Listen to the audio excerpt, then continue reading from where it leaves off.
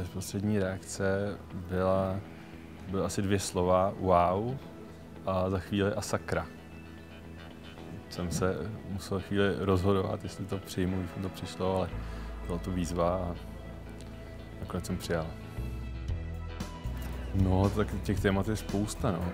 Je tam samozřejmě plastická chirurgie, mise, nebo stáže, na kterých jsem byl, takže těch témat je hodně.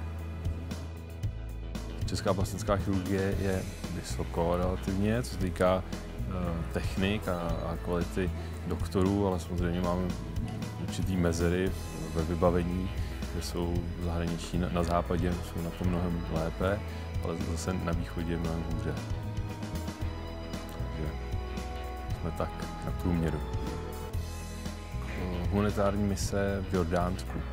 Tam jsem byl před dvěma lety a pak jsme vlastně zapojili program, eh, zapojili jsme plastickou chirurgii do programu Medavac, což je vládní program na medicínský program na podporu a na, na terapii různých poranění, hlavně válečných.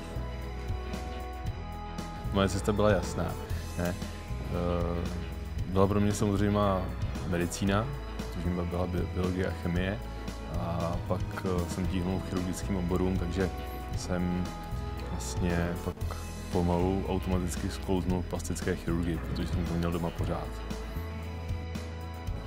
No, trošku nervózní jsem, můj táta tady byl před lety a tenkrát se zacyklili na zvětšování penisu, který můj táta nikdy nedělal na celou dobu, takže uvidíme, na čem se zacyklíme my.